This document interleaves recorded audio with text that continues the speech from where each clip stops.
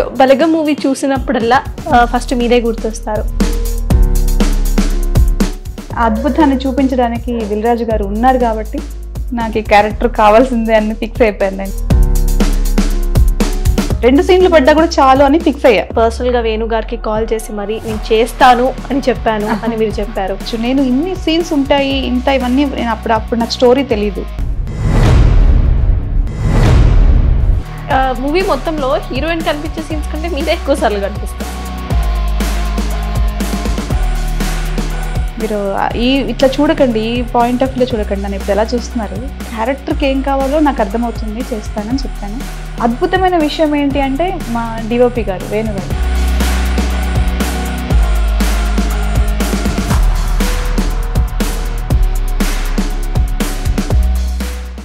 hi hello welcome to social post TV this is Charitha ఇవాళ మనతో పాటు బలగంలో ఒక యూనో దానికి ముందు కూడా ఈవిడ చాలా క్యారెక్టర్స్ చేసిన బలగంలో చూసిన తర్వాత ఇంక ఈవిడ మనకి ఎప్పటికీ గుర్తుండిపోతారు. ఆవిడే రూపాలక్ష్మి గారు. సో బలగం సినిమా మీరు అందరూ చూసేసారని నేను అనుకుంటున్నాను. మరి దాని గురించి ఆ క్యారెక్టర్ గురించి ఇంకాస్త డీటెయిల్గా తెలుసుకుందాం. హాయ్ హలో ఎలా ఉన్నారు? Super super. So Balaga movie చూసినప్పుడల్లా ఫస్ట్ మీరే గుర్తొస్తారు. అందరు క్యారెక్టర్స్ ఒక ఎత్తు అయితే అంటే అందరు క్యారెక్టరైజేషన్స్ చాలా నీట్గా డిజైన్ చేసుకుంటే మీరు కార్లో దిగినప్పటి నుండి ఎండ్ సీన్ వరకు చాలా ఒక ఎమోషనల్ రైడ్తో రన్ అవుతుంది.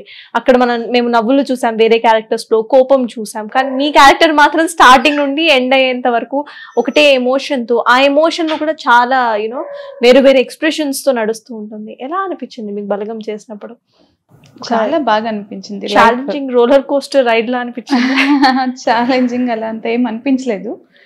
డెప్త్ ఉన్న క్యారెక్టర్ కదా. ఆర్టిస్ట్గా పర్ఫార్మెన్స్ చేయడానికి స్కోప్ ఉన్న క్యారెక్టర్ కాబట్టి ఆర్టిస్ట్గా I satisfied satisfied happy first మీకు అసలు ఈ రోల్ ఎలా వచ్చింది మీ దగ్గరికి? వాళ్ళు అనుకున్నారు డిపార్ట్మెంట్లో వాళ్ళ డైరెక్షన్ డిపార్ట్మెంట్లో అనుకున్నప్పుడు నాకు ఒక కాల్ చేశారు. ఆడిషన్కి రమ్మని. సరే. ఆడిషన్ ఇచ్చారా? ఆడిషన్ ఇచ్చానంటే మామూలుగా నాకు పెద్ద ఇంట్రెస్ట్ ఉండదు కానీ ఇంకా తప్పదు కదా వాళ్ళకి చాలా డౌట్స్ ఉంటాయి. ఎన్ని సినిమాలు చేసినా కూడా ఈ క్యారెక్టర్కి ఇవిడ సెట్ అవుతారా లేదా అని. ఆ, ఇప్పుడు ఇప్పుడు నా మైండ్ సెట్ని అలవాటు చేసుకున్నా ఓకే మనం మంచి మూవీ అన్నప్పుడు ఖచ్చితంగా వెళ్ళాలి అని. వెళ్ళాను ఆడిషన్ ఇచ్చాను. మీరు ఆల్రెడీ చాలా ఇంటర్వ్యూస్లో చెప్పడం జరిగింది. మళ్ళీ అదే క్వశ్చన్ నేను అడగను. అదేంటంటే ఆ, నేనే పర్సనల్గా వేణు గారికి కాల్ చేసి మరి నేను చేస్తాను అని చెప్పాను అని మీరు చెప్పారు. అంటే మీకు ఆ క్యారెక్టర్ అంత నచ్చిందా? ఒక డైరెక్టర్కి కాల్ చేసి నన్ను పెట్టుకోండి నేను చేస్తాను డెఫినెట్గా అని చెప్పేంత బాగా? నిజంగా చాలా నచ్చింది ఆ క్యారెక్టర్ నాకు. ఫస్ట్ ఒక సీన్ నా దగ్గర చేయించారు. ఒక అన్ని సంవత్సరాల తర్వాత మిస్ అయిపోయిన తండ్రి చనిపోయిన తర్వాత సీన్ కూతురు విషయంలో బాధపడుతూ నా మీద ఇంత ప్రేమ దాచుకున్నావని అని తండ్రి దగ్గర ఫోటో దగ్గరికి వెళ్ళి చెప్పాలి. అది ఆఫీస్లో చేసినప్పుడు అదే ఫస్ట్ నా ఆడిషన్ ఆడిషన్ అక్కడ. ఈ సినిమాలో ఫస్ట్ నాకు ఆడిషన్ పిలిచినప్పుడు ఫస్ట్ సీన్ ఇచ్చింది అది. ఆ సీన్ చెప్పినప్పుడు దీంట్లో డెప్త్ ఉంది అని నాకు చాలా క్లారిటీగా అర్థమైపోయింది.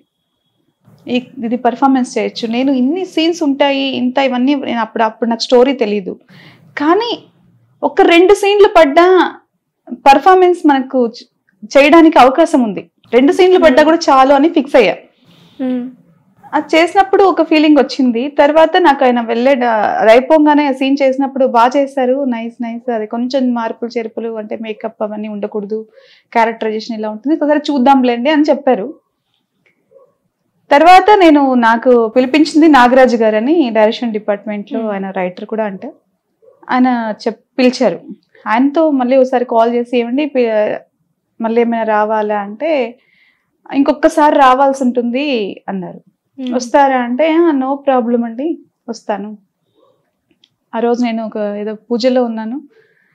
ఆ, రోజే పెట్టారు మళ్ళీ. అదంతా అంటే ఏమంటారు వర్క్ షాప్ అంటే అందరు. ఆర్టిస్ట్లని పెట్టి మళ్ళీ ఆ సీన్ని చేశారనమాట అదే సీన్ కాదు ఇంకొక సీన్ ఆ సీన్ ఆల్మోస్ట్ అవును ఆ సీనే చేశారు. ఆ వర్క్ షాప్కి వెళ్ళినప్పుడు రెండు సీన్స్ చేశారు. ఈ సీన్ ఒకటి ఇంకొక సీన్. అప్పుడు వాళ్ళతో కూర్చుని వర్క్ చేస్తున్నప్పుడు చాలా సీన్స్ అంటే ఫ్యామిలీకి చాలా రిలేటెడ్గా ఉన్న సీన్స్ అవి. ఎమోషన్స్ని ఈజీగా ఎక్స్ప్రెస్ చేసుకునేంత డెప్త్ ఉన్న సీన్స్ అవి. ఆ రెండు సీన్స్ చేసినప్పుడు నాకు ఇంకా మైండ్లో పడిపోయింది. అడిగాను ఆ రోజు చూసారా? మేము ఆలోచిస్తున్నాను మీరు కొంచెం అంటే నేను వెళ్ళినప్పటికీ కొంచెం పూజలో ఉన్నాను ఆ రోజు కొంచెం పసుపు పొది పెట్టుకుని కుంకుమ పెట్టుకుని ఉన్నాను. మీరు కొంచెం అట్లా ఎవేగా ఉన్నారు అందుకే ఆలోచిస్తున్నాను అన్నారు. అమ్మో మళ్ళీ ఆలోచిస్తున్నాను ఏంటి? నాకు ఈ క్యారెక్టర్ కావాల్సిందే అని ఫిక్స్ అయిపోయాను. నేను లేదండి. అప్పుడే అన్నాను. మీరు అస్సలు ఆలోచించకండి. మీరు చెప్తే ఆ క్యారెక్టర్ తగినట్టు నేను మోల్డ్ అయిపోగలను. దయచేసి నాకు నమ్మండి ఆ విషయంలో. క్యారెక్టర్ నేను చేయగలను. మీరు ఈ ఇట్లా చూడకండి. ఈ పాయింట్ ఆఫ్ వ్యూలో చూడకండి. నన్ను ఇప్పుడు ఎలా చూస్తున్నారు? క్యారెక్టర్కి ఏం కావాలో నాకు అర్థమవుతుంది. చేస్తానని చెప్పాను. గాడ్ గిఫ్ట్ వేణుగారి మనసు మారి నాకు ఆ క్యారెక్టర్ ఇచ్చారు. ఆయన మిమ్మల్ని నమ్మారు. నమ్మారు. నమ్మి ఆ నమ్మకాన్ని నేను వమ్ము చేయలేదని నేను నమ్ముతున్నా. మూవీ మొత్తంలో హీరోయిన్ కనిపించే సీన్స్ కంటే మీరే ఎక్కువ సార్లు కనిపిస్తారు. అట్లేం లేదు తనే ఎక్కువ కనిపిస్తుంది కదా. అంటే. మాకు అంటే గుర్తుండిపోయే క్యారెక్టర్ అయితే స్ట్రాంగ్ స్ట్రాంగ్ క్యారెక్టర్ అందరిలో. అమ్మాయి అంత నాతో ఉన్నంత సేపు తన ఎక్స్ప్రెషన్ చూడండి. అసలు ఎంత వండర్ఫుల్ ఒక కూతురు నిజంగా తల్లిని అర్థం చేసుకునే విధానము ఆమె పెయిన్ని అర్థం చేసుకునే విధానము నాకు చాలా నచ్చింది కావ్య. ఎక్సలెంట్ చేసింది. లాస్ట్లో ఒక సీన్ కూడా అమ్మాయికి పడుతుంది. అంతవరకు చిన్న చిన్న మైనర్ ఎక్స్ప్రెషన్స్ ఇచ్చిన ఏంటి కుక్క కొల తెప్పిస్తావా? ఇలా మాట్లాడినా? సరదాగా అంతవరకు నడుస్తున్నా. ఒక ఒక సీన్లో చెప్తుంది నువ్వు అదృష్టవంతుడివి బావా. నేను నేను మిస్ అయ్యాను. నువ్వు తాతతోనే ఎన్ని సంవత్సరాలు ఉన్నావని. ఎక్సలెంట్ మంచి పర్ఫార్మర్ అమ్మాయి. సో స్టోరీ డిజైన్ చేసుకున్న తర్వాత అంటే వేణు గారు ఒక మూవీ డైరెక్ట్ చేస్తున్నారంటే మేమందరం ఏదో వేరే ఒక కామెడీ మూవీ అట్లాంటిది ఎక్స్పెక్ట్ చేస్తున్న టైంలో బలగం కాకి ముట్టకపోవటం ఇట్లాంటి కాన్సెప్ట్స్తో ఒక మూవీ రాబోతుంది అని విన్న తర్వాత థియేటర్స్ కూడా జనాలు అదే రేంజ్లో స్టార్టింగ్లో డౌట్ఫుల్గా వెళ్ళిన వాళ్ళే లేదు బలగం సూపర్గా ఉంది అని వెళ్ళారు. సో ఈ రేంజ్ ఆఫ్ ఎక్స్పెక్టేషన్ని మీరు ఎక్స్పెక్ట్ చేశారా జనాల నుండి? నైంటీ పర్సెంట్ ఎక్కడ నాకు డౌట్ లేదు. ఎక్కడైనా ఇప్పుడు పిల్లలకి అంత కనెక్ట్ అవుతుందా? అంటే వాళ్ళకి అంత కల్చర్ గురించి అంత విధానాల గురించి అవన్నీ పెద్దగా తెలీదు. అట్లా కొంచెం ఏదో ఈ చిన్న పిల్లలకి ఒక fifteen sixteen seventeen years eighteen years పిల్లలు అంత కనెక్ట్ అవుతారా లేదా అనేది నాకు ఒక చిన్న డౌట్ అంత అదొక్కటి తప్ప hundred percent movie super success అవుతుంది అనేది నాకు తెలుసు. నేను చేసేటప్పుడే నా మనసుకి అది ఉన్నింది. కానీ షూటింగ్ అయిపోయి మనం సినిమా చూసిన తర్వాత మీ అమ్మాయిలు అబ్బాయిలు చాలా ఎక్కువ దాన్ని ఇష్టపడ్డారు. ఓన్ చేసుకున్నారు True. వాళ్ళలో వచ్చిన అది చూసినప్పుడు అరే మనం చాలా తక్కువ అనుకుంటున్నాం వీళ్ళకి అంత ఎమోషన్ కాదు. వాళ్ళు వాళ్ళు చాలా స్ట్రాంగ్ ఉన్నారు. వాళ్ళు దేనైనా అర్థం చేసుకోగలుగుతున్నారు అనేది నాకు అర్థమైంది. ఇంకో పాయింట్ ఏంటంటే ఈ సినిమా ఇంకా ఎంత సూపర్ సక్సెస్ అవ్వడానికి వేణు గారు ఎంత స్ట్రాంగ్గా స్టోరీ రాసుకున్నారో ఎంత బాగా దాన్ని ఇచ్చేశారో చెప్పేవాళ్ళు. సినిమా బాగుందని అందరూ చెప్పినంత మాత్రం కాదు కదా దిల్ రాజు గారు. ఆయన ఒక దాదాపు నేను ప్రతిరోజు అనుకునేదాన్ని. సినిమా ఇంకా రిలీజ్ అవుతుంది అనగా ఒక నాలుగైదు ఐదారు రోజుల ముందు నుంచే ఒక వన్ వీక్ ముందు నుంచే థియేటర్స్ సినిమా వేసేసి చాలా మందికి ఫ్రీగా షో ఇచ్చారు. తర్వాత దాని గురించి చాలా బయట చెప్పడం బయట తిరగడం ఆయన అంత స్ట్రాంగ్ డెసిషన్ తీసుకుని తిరిగారు కాబట్టి ఈ సినిమా ఇంకా ఇంత సక్సెస్ అవ్వడానికి జనాలకు ఆయన తీసుకెళ్ళారు అలా. ట్రూ ట్రూ సో యాక్చువల్లీ అంటే మనం మాట్లాడుకుంటే కమర్షియల్ ఫిల్మ్స్ వస్తున్నాయి ఈ టైంలో ఇట్లా ఎమోషనల్ రైట్స్ ఉన్న ఫిల్మ్స్ ఆల్ చాలా వరకు సినిమాలు వచ్చి వెళ్ళిపోయిన ఉన్నాయి. కంటెంట్ బాగున్నా కూడా రీచ్ లేకుండా జనాలకి ఆ మౌత్ టాక్ లేకుండా పబ్లిసిటీ లేకుండా వెళ్ళిపోయిన సినిమాలు చాలా ఉన్నాయి. దాంట్లో అయితే వీ ఫీల్ దట్ వీళ్ళకి that you got you know Dil Raju గారు as your producer distributor so that we go to see this film in theatres cinema బాగుంది అనుకోండి అది ఎలా హండ్రెడ్ అయినా run పర్సెంట్ అవుతుంది. సక్సెస్ అవుతుంది.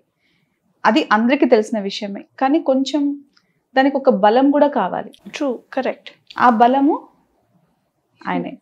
అదే అదే చెప్తున్నా. దిల్ సో రాజు గారు. వీఆర్ లక్కీ లేకపోతే ఇది కూడా అంటే తెలియకుండా వెళ్ళిపోతుందేమో. మనం చెప్పలేము. So on positive and we're also lucky audience అని audience point of view audience కూడా చాలా లక్కీ అని చాలా. లక్కీ అసలు ఇంత మంచి ఎక్కడ ఒక నిజం చెప్పాలంటే సినిమాలో ఎక్కడా కూడా చిన్న నెగిటివ్ పాయింట్ తీయడానికి లేదు. లేదు కరెక్ట్ ఎక్కడ కూడా ఆ సినిమా ఒక స్టోరీని కాకుండా ఇంకెక్కడో ఒకవేళ వెళ్ళిందనో లేదంటే వీళ్ళని ఎందుకు పెట్టారనో లేకపోతే అద్భుతమైన విషయం ఏంటి అంటే మా డిఓపి గారు వేణు గారు. అసలు ఎంత బాగా ఫ్రేమ్ చేశారండి? మా వేణుగారు అసలు నిజంగా ఆయనకి హ్యాట్సప్ చెప్పాలి. అది లైటింగ్ అది అంత బాగా. అట్లా తీసుకెళ్ళారు వీళ్ళందరూ. ఒక అద్భుతమైన మూవీని చేయడమే గొప్ప విషయం అయితే దాన్ని జనాలంతా ఆదరించడము. దిల్ రాజు గారు అంత సపోర్ట్ చేయడం. సో చూసారు కదా that was another sweet interview so ఇంకో ఇంటర్వ్యూతో మళ్ళీ కలుసుకుందాం. Until then stay tuned to social post TV